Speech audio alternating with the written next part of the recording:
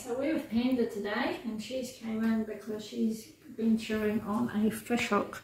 So I've actually already pushed it through but before I did that we cut um, all you could see was this fish hook going in.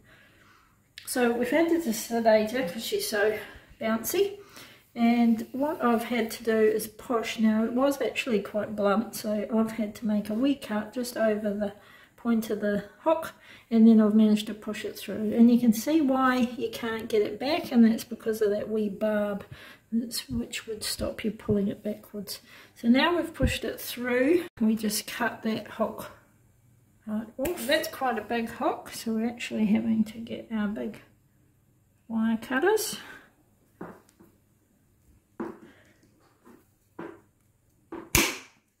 and that way we can pull the hook back through without that barb.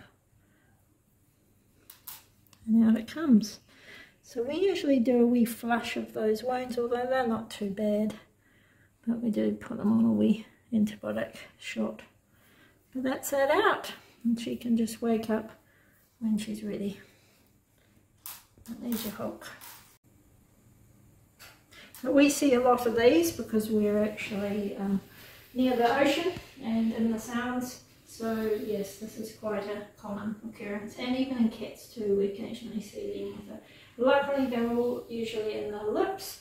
Very occasionally we have seen them down the esophagus and even into the stomach. So obviously that's um, a worst case scenario. So then we have to go surgery to remove it. Anyway, there we go. Okay, she'll be waking up soon. Thanks for watching.